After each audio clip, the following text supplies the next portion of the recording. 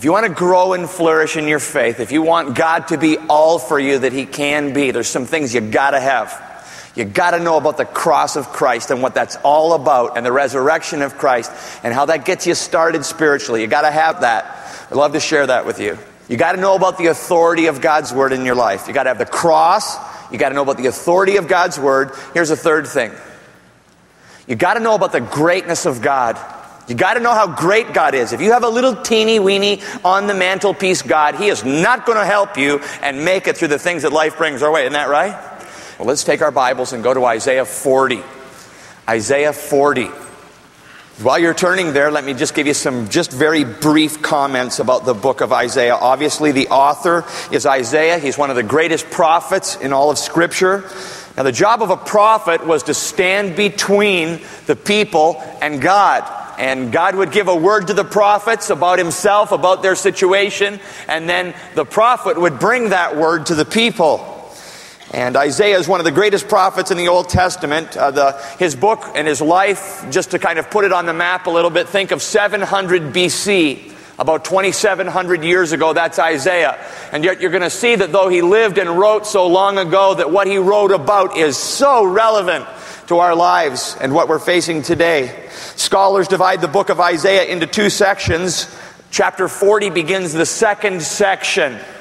And the reason why it's a different section is because what Isaiah is writing here, what he wrote, was not primarily for the people of his day. Though it can bring comfort to us and though it brought comfort to them, the primary audience were the people of the Babylonian captivity, which wouldn't happen for almost 150 years after Isaiah said these things.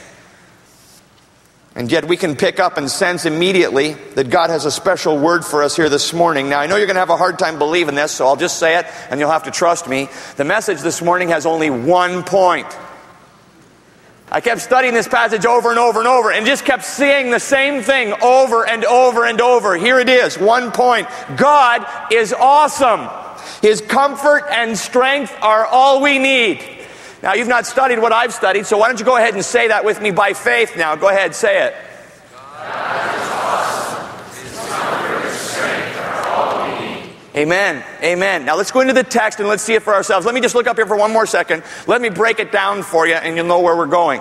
All right? The first five or six, seven verses right there, eight verses, talk about, I'm thinking of this whole thing as a mountain, all right? We're going to climb the mountain of the awesomeness of God. The first eight verses is preparation for the climb, all right?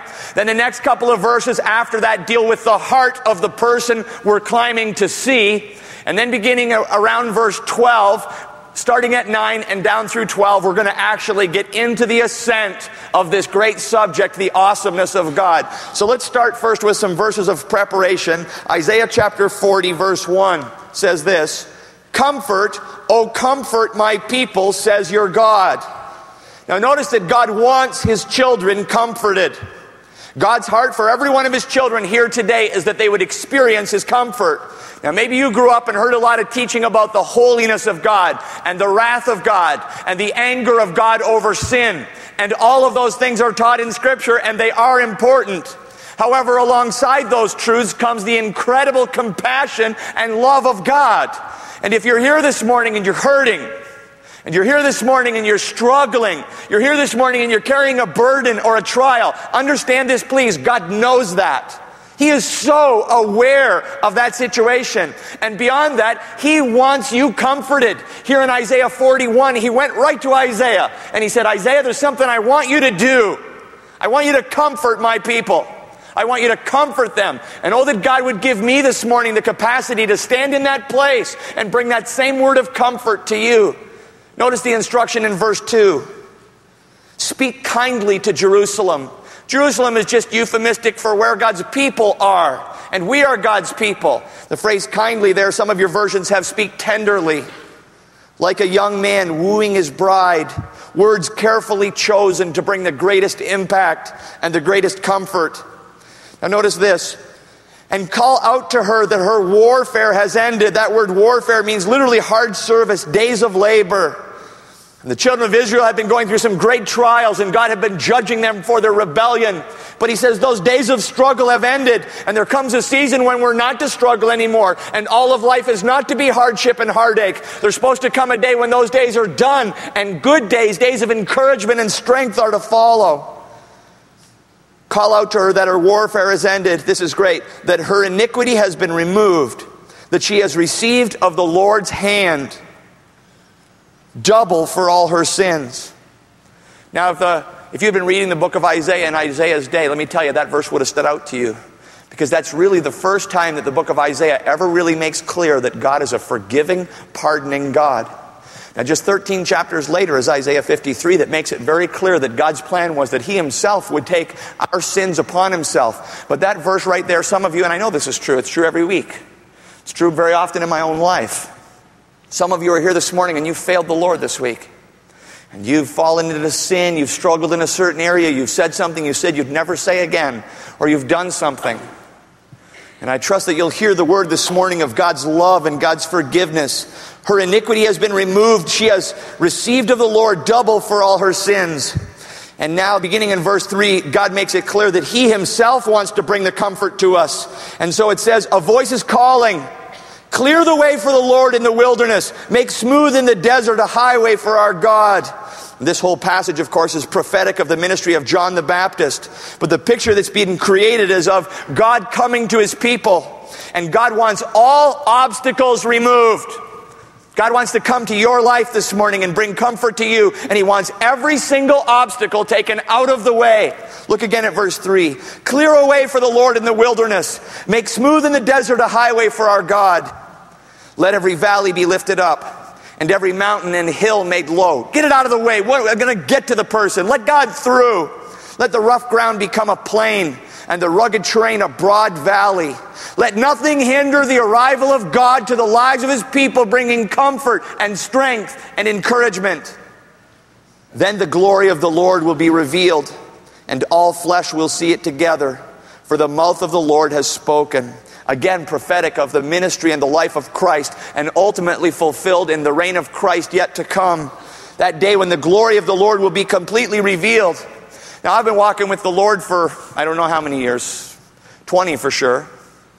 You know, there's only been little times in my life where I feel like I've got a little peek, just a little peek at the glory of God. There have been times when I've been alone with the Lord or with a small group of people praying, and I feel like just the smallest portion of the little corner of the curtain has been lifted up, and a little bit of the glory of God came through, and we were on our faces before God. Now imagine how great it's going to be in the day when the glory of God is really revealed. And one of the things that I've been praying and hoping and asking is, is that somehow through my sinful lips and our struggling hearts, that somehow God in this series would bring his glory to bear upon our church and upon our families and upon our lives so that we would see God lifted up before us in a way that we've never seen him before. What a wonderful thing to pray that the glory of God would be revealed. Now, notice verse 6. Because if that's your heart's desire, the first thing you begin to say to yourself is, is, God, how could that possibly happen? How could your glory be revealed? Verse 6, a voice says, Call out. Then he answered, and I felt this so many times, What shall I call out? What shall I say exactly to communicate, God, your greatness? Words fail. How could I possibly communicate omnipotent, transcendent, omniscient God to these people? You give me the words, I don't have them. And Isaiah felt the same way as he said, All flesh is grass, and all its loveliness is like the flower of the field. The grass withers and the flower fades when the breath of the Lord blows upon it. Surely the people are grass. The grass withers and the flower fades. In other words, there is no human capacity to communicate the greatness of God. Grass and flowers, that's all we are for a little while and gone. And not one person here in our temporal lives has the capacity to communicate the greatness and the awesomeness of God. Where does that message come from? Look at verse 8.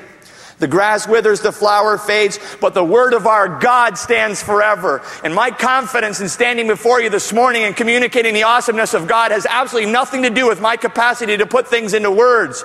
But instead, as you see, we all have our Bibles open in front of us. And the very message that I bring to you this morning is the message from God's word. It is God speaking about himself. It is God telling us how he wants to be known and understood as awesome. And surely his own spirit can take that word this morning and cause God's greatness to be lifted up before our eyes. Amen.